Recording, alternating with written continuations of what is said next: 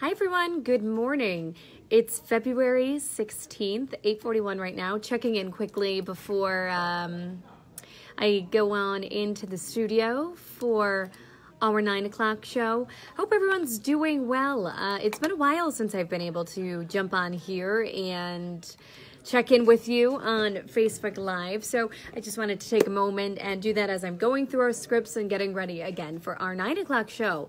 Listen, it was a tricky tricky morning in a lot of areas, icy conditions, slick conditions. Um, if you were with us throughout the morning, I think Samaya did such a great idea, really showing you what it was like, specifically in the Bristol area. That's where she was. She was traveling around the Mum City this morning, showing you just how icy it was. We had a few accidents this morning, slowdowns, obviously. Starting to improve out there, still raining, uh, coming down hard in some areas. Gil will have more on that for you coming up in our nine o'clock hour, but just be careful still there could be some icy spots out there. Uh, let's talk about some of our top stories that we're covering this morning. Something other than weather that Kent has been talking about.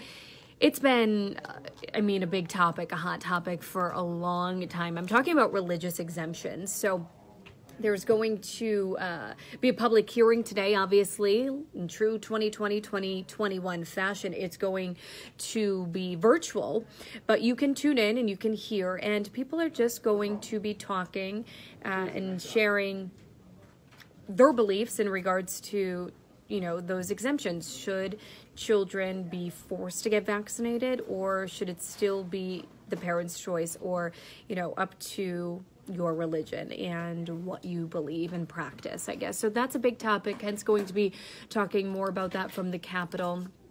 Uh, we're going to have Laura's story about children in crisis. I'm really looking forward to this. It aired for the first time last night in the 11 o'clock hour. I wasn't able to see it, obviously, because I was sleeping, but it's so timely. She's talking about how the pandemic is impacting children and how they are coping with all that's going on. There's uh, been a lot that they've had to deal with between missing out on play dates, remote learning, going to school, going back home. A lot of things um, have changed for them, like all of us, right? But how are kids coping? So she's going to have a more uh, in-depth look at that for you and some tips on how to, you know, uh, help our children through this. So I'm really looking forward to seeing that. That's going to be in our nine o'clock show as well.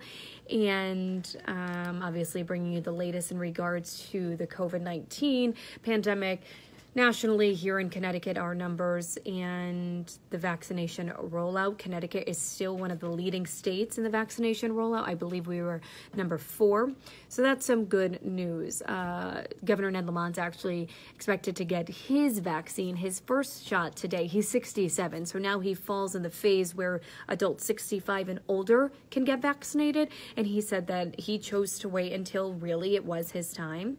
And now it is his time. He wanted to give first responders, frontline workers, those 75 and older, uh, the chance to get the vaccine before he received it. But now is his time, and he's expected to get that today. So we'll be following that for you. And we're following a few um, investigations happening in the Elm City. Something that Shayna Ferreira has been covering is the latest on the investigation after two people were found uh, dead after an apparent overdose in uh, in a supply closet of Jack's Steakhouse in New Haven, and then another person was found outside of that supply closet, also said to have been um, suffering from an overdose. That person is expected to be okay, but again, two people died from an apparent overdose.